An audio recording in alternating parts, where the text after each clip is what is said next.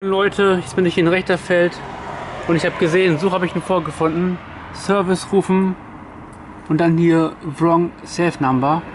Ja, ich gucke jetzt mal, was hier Sache ist. Ähm, ja, ich habe schon Infos bekommen, wie man es testen kann. Ich lege jetzt mal los. Moin Leute, herzlich willkommen zu meiner Automatentour diese Woche. Ja, es war ein bisschen ereignisreich sogar diese Woche. Und zwar am Samstag gegen 22.45 Uhr hatte ich meinen letzten Verkauf in Rechterfeld. Und dann war plötzlich das G-Drink-Gerät, das Master-Gerät praktisch, der Fahrstuhl funktioniert nicht mehr und verkauft nichts mehr. Also der Fahrstuhl, kalibrieren tut, tut er sich teilweise noch, aber wenn ich das kaufen möchte, geht der Fahrstuhl in die Ebene, das passt noch, aber er greift nicht mehr das Produkt, also geht nicht mehr in den Automaten rein. So, ich zeige euch vielleicht noch ein Video, ähm, wie das ungefähr aussieht. Ich mache jetzt 2 Euro rein, mache einen Testkauf und wähle die 38. 38. Mal gucken, was er macht. Und jetzt sehen wir das.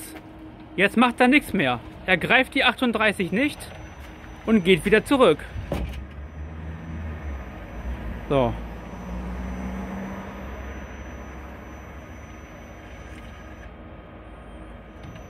Er versucht es nochmal. Mal gucken, ob er es schafft. Jetzt macht er es wahrscheinlich nicht mehr. Nein. So, und ihr schafft das nicht. Jetzt kriegt das Geld zurück und steht ausverkauft. Ja. So, und ähm, da kommt am Mittwoch jemand, der mir das da, einer aus Oldenburg, wo habe ich da gefunden im Internet, der auch solche Stackautomaten wohl macht oder weiß nicht, er sagt zwar, nicht unbedingt Wendo, aber ähm, das schafft er wohl, kann er wohl auch mal gucken. Ich hoffe, dass, er, dass wir den Fehler finden, dass ich dann die Teile kaufen kann und dann entsprechend einbauen kann, beziehungsweise dass es dann alles klappt. Ich hoffe, dass es nicht allzu teuer wird. Ein bisschen muss ich wahrscheinlich investieren, denke ich, aber ich hoffe, dass ich den schnellstmöglich wieder am Laufen kriege, damit ich wieder Umsatz machen kann, denn aktuell 0 Euro um das Rechterfeld. Das ist einer meiner besten Automaten, die ich habe. Sehr blöd. So, dann ist natürlich, ab nächste Woche ist dann die Schulferien wieder vorbei, dann geht die BBS wieder los. Da fahre ich gleich nochmal eben hin und fülle nochmal ein bisschen was auf und gucke nach dem Rechten. Der Kaffeeautomat soll auch repariert worden sein. Ich bin gespannt, ob das der Fall ist oder ob es nächste Woche kommt. Da war wohl irgendwie eine, eine Platine kaputt oder sowas. Da waren sie erst da, haben geguckt und dann wollten sie wiederkommen, weil sie das Teil nicht dabei hatten. Ich hoffe, dass das jetzt gemacht wurde. Ansonsten denke ich mir ab nächste Woche.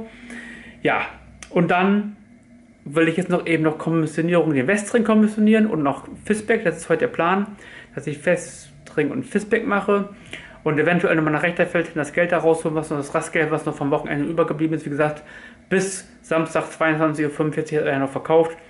Ich bin mal gespannt. Ähm, ja, dass ich hoffe auch, dass es dann eben schnellstmöglich wieder läuft, dass am Mittwoch der Fehler gefunden wird, ich dann die Teile bestellen kann, die vielleicht kaputt sind und entsprechend dann schnellstmöglich wieder verkaufen kann. Denn ja, es ist natürlich barer Umsatz und für mich ist es wichtig, weil ich habe ja am Ende auch die Kosten. Wie gesagt, ich habe hohe Abzahlungen zu zahlen an die Bank und so weiter. Und dafür müssen eigentlich alle Automaten noch einwandfrei funktionieren. Okay, also ich kommissioniere jetzt ähm, Fisbeck und Westring und dann geht es auch schon los. So Leute, ich bin gewappnet, falls es ein bisschen dunkler werden sollte. Und ich habe jetzt auch kommissioniert. Das ist BBS. Darunter ist Westring 1 und Westring 2. Ob ich den Fistback heute schaffe, weiß ich nicht. Ich muss es auch in der Zeit schaffen. Wir haben es jetzt halb sechs durch.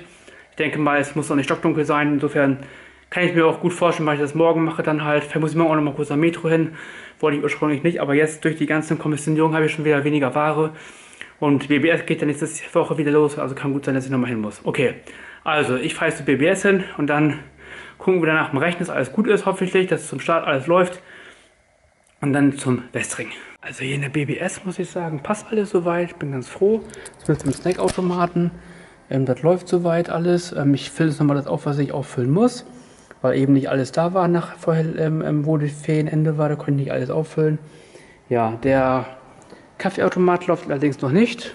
Der ist aktuell aus. Ich hoffe, das ändert sich dann auch bald. Das soll wieder repariert werden. Da hat er ein Problem. Ja, okay. Also ich fülle jetzt einmal auf. Moin Leute, ich bin jetzt hier am Westring, habe jetzt schon fast beide Automaten aufgefüllt. Ist einiges weggegangen wieder, ja. Ich fülle jetzt hier weiter auf, dann gehst du nach Fisbeck hin und dann rechter ich wahrscheinlich nicht mehr. Ich ob ich noch Fisbeck schaffe, noch ist es einigermaßen hell. Mal sehen, wie es gleich aussieht in 10 Minuten, wenn ich hier fertig bin. Ja, das ist jetzt mal der Stand der Dinge. So, heute ist Samstag. Wir haben es doch sehr früh. Mein Wecker klingelt um Viertel nach fünf. Wir werden es jetzt so um kurz vor sechs haben. Ich packe jetzt oder werde jetzt großen Kneten kommissionieren. Dann wollte ich nach Metro hin. Um 7 Uhr machen die auf, dass ich pünktlich da bin.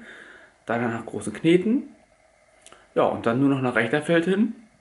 Das zeige ich euch dann auch nochmal, wie der Stand der Dinge aktuell da ist, weil der, der Automat nicht funktioniert aktuell. Da hole ich nochmal das Geld raus. Dann geht es nochmal zur Bank hin. Und das war es dann auch heute schon. Ja, also ich würde sagen, wir kommissionieren jetzt großen Kneten. So großen Kneten, jetzt sehen wir, acht Stück sind noch drin von Red Bull, da auch acht Stück, auch acht Stück, das reicht alles. Red Bull Summer, gehen wir mal drauf, ist komplett leer.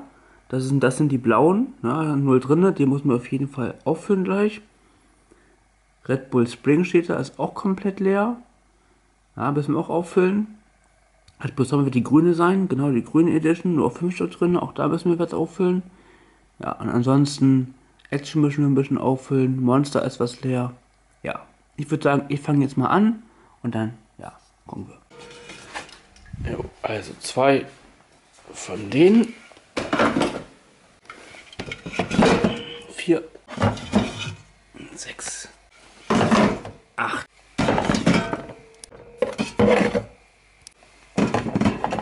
Mal die beiden Monster tun wir noch mit rein. Und gleich noch die Booster. Auch die Power Grade geht sehr gut. Habe ich jetzt aktuell nur noch zwei Stück da. Also auch da können wir tatsächlich noch welche wieder besorgen. Das wird wahrscheinlich nicht ganz reichen. Das ist nämlich gar keine mehr drin gewesen. Also auch da denke ich mir mal, da besorgen wir uns gleich noch welche beim Metro. Auch die Kracher sind komplett weggegangen. Auch die müssen wir jetzt wieder auffüllen. Und die Apfelringe waren auch komplett ausverkauft. Auch von den Nerds sind zwei weggegangen. Und die beiden kommen jetzt hier wieder rein. So, das ist jetzt große Kneten. Habe ich jetzt komplett kommissioniert. Die Sachen, die ihr jetzt nicht da habt oder nicht ausreichend habt, die kaufe ich dann gleich nochmal nach. Also ein bisschen was wird das dann schon sein, was wir noch nachkaufen müssen. Der so 250 Euro, 300, weiß ich nicht, irgendwie so sind es ja auch mal dann. Ja, also ich packe es jetzt ins Auto rein und dann nach Metro hin. So Leute, jetzt haben wir es kurz nach 7, 7.13 Uhr, 7.15 Uhr. Und ja, jetzt gehe ich nach Metro rein und dann kaufe ich ein bisschen was ein. Ja, und dann würde ich sagen, ab geht die Post. So Leute, ich bin jetzt hier fertig. Ich zeige euch, was ich kurz eingekauft habe. Das Ganze hier. Könnt ihr mal schätzen, ich wollte eigentlich weniger kaufen. Aber es ist doch wieder ganz schön viel geworden, das Ganze. Ja, vor allem natürlich diese ja, diese Schokobomben Crispy. Natürlich extrem teuer, ne? Die hauen ganz schön rein. Ja, was habe ich hier insgesamt heute ausgegeben? 328,40 Euro. Ja. Das ist jetzt also der Punkt. Das packe ich jetzt ins Auto rein und dann geht es Richtung großen Kneten.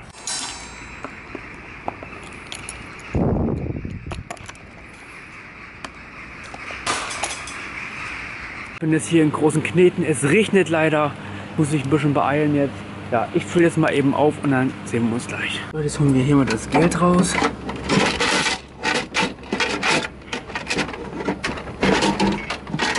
Gucken, was drin ist. Was ist da?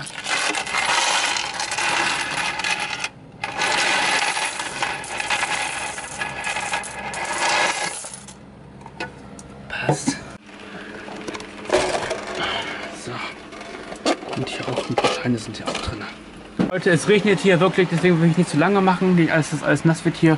Also ich habe jetzt ein paar neue Produkte. Einmal diese White habe ich hier bei, Red Bull White habe ich jetzt mal mit neu drin. Genau, ne? Ansonsten die Sea Blue war gut weggegangen, habe ich wieder komplett neu ausgefüllt. Ein bisschen was von den grünen Sommereditionen ist weggegangen, wieder aufgefüllt. Genau, jetzt habe ich hier wieder diese Monster drin, ne? diese Monster Nitro, diese Rockstars. Ja, das ist ja das, was ich jetzt habe. Wie gesagt, hier ist wieder alles neu aufgefüllt. Powerade war auch komplett leer, auch komplett aufgefüllt.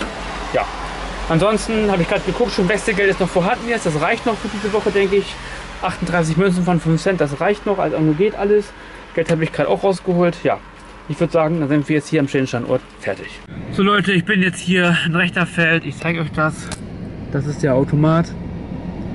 Und ja, er kalibriert jetzt zwar noch, aber wenn ich was kaufen möchte, ging das alles nicht. Ja, ich hole jetzt noch das Geld raus.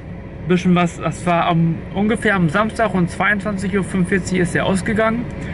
Also ausgegangen nicht, sondern äh, hat nichts mehr verkauft, war der letzte Verkauf.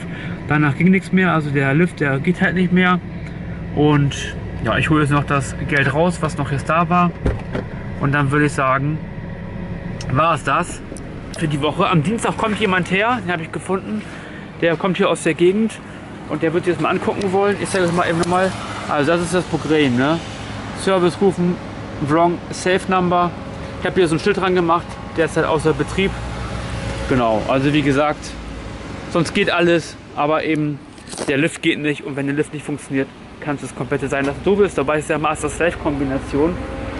Der hier hat ja keine eigene, ähm, du hast ja nur hier die Tastatur und das ist natürlich hier nicht dran. Das heißt, die, von dieser Tastatur werden beide Automaten bedient.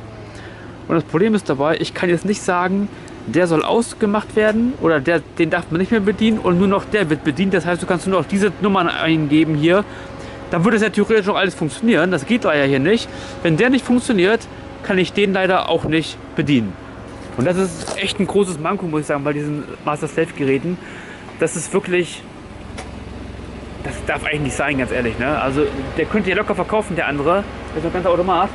Nicht? Und es geht, das nicht, weil das Master Gerät nicht funktioniert. Das darf normal müsste man das ausschalten können, dass man sagen kann, pass auf, Master Gerät bleibt aus. Nur noch die Nummer können gewählt werden, die halt im Slave Gerät sind. Das wäre eigentlich sinnvoll. Ich hab, also denke, das geht nicht. Bei mir ging es jedenfalls nicht, habe ich es nicht hingekriegt. Das ist echt sehr, sehr negativ.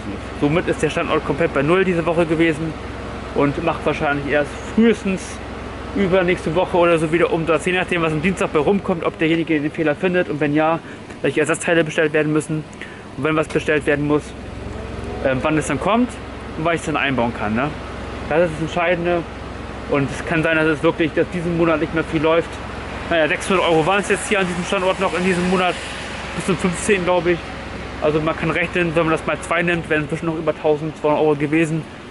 Leider, jetzt geht nichts mehr. Ich hoffe, dass ich das bis Anfang November geschafft habe. Weil sonst wird es echt eng für mich. Weil es muss wieder laufen, weil ich eben auch laufende Kosten habe. Und eben gesagt, die Abträge an die Bank.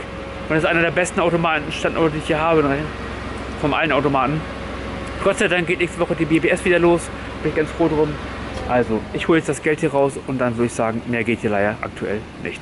Moin Leute, hier in Rechterfeld. Ich habe jetzt hier eine Lösung gefunden. Erst einmal, ich habe mir jetzt aufgefallen, wenn ich es kalibriert habe und keinen Kauf mache, dann ist zumindest, kann man die Tastatur kann man ja, ähm, kann man ja drücken, ist ja kein Problem.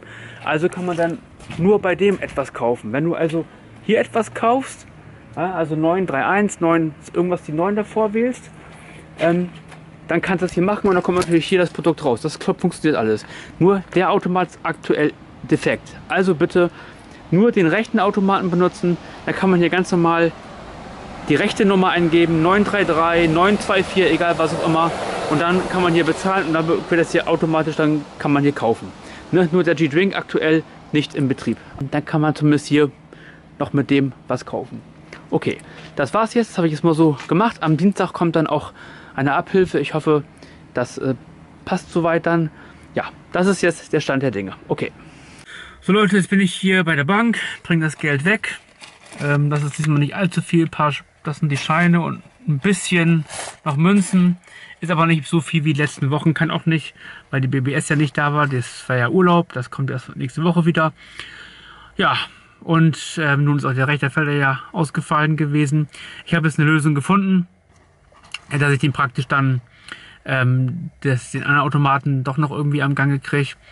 Ähm, und das praktisch dann der, der G-Drink, der Mastergerät darf man halt dann nicht benutzen. Wenn man das benutzen würde, dann wird es wieder auf Fehlermeldung gehen. Aktuell habe ich es hingekriegt, dass es nicht auf Fehlermeldung geht. Denn wenn man aber einen anderen Automaten benutzt, dann sollte es eigentlich funktionieren. Ich hoffe, das klappt soweit. Ich habe das soweit vorbereitet in rechter Feld. Ich hoffe, das hält sich auch jeder dran. Es verdrückt sich keiner oder so. Dann wäre natürlich wieder blöd. Aber am Dienstag soll das ja auch entsprechend behoben werden oder zumindest die Ursache erforscht werden. So, ich bringe das Geld auf die Bank und dann melde ich mich gleich nochmal. Und das ist jetzt auf die Bank. Und das waren in Scheinen, äh, Moment 310 Euro und in Münzen nochmal 213. Also knapp 500 Euro jetzt ja, aufs Konto gebracht. Wie gesagt, weniger als natürlich die letzten Wochen. weil ja auch die Automaten nicht richtig gelaufen sind, das rechte Feld und BBS ist ja Ferien. So, das war's. Ich hoffe, es hat euch gefallen. Lasst ein Abo da und like das Video, kommentiert, wenn was zu kommentieren gibt. Und dann würde ich sagen, bis zum nächsten Mal. Ciao.